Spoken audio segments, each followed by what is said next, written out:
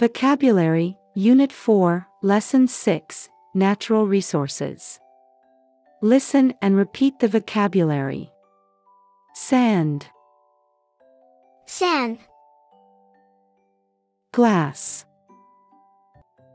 glass, bowl, bowl, liquid,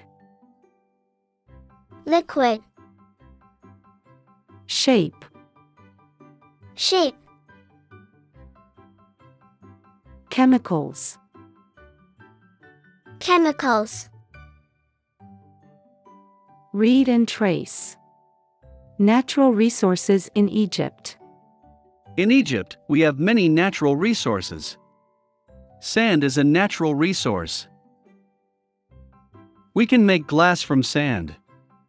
We take sand from the desert. We add chemicals to the sand. Then we put everything in a ball. We melt the sand and chemicals to make a liquid. Then we shape the glass. We can make many things from glass. Look, read and trace. Another Egyptian natural resource is water.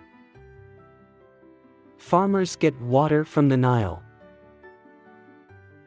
Farmers give water to the plants. Vegetables need water to grow.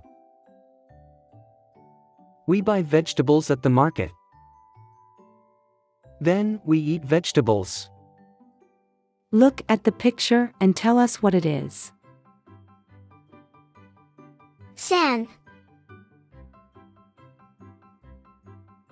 Glass.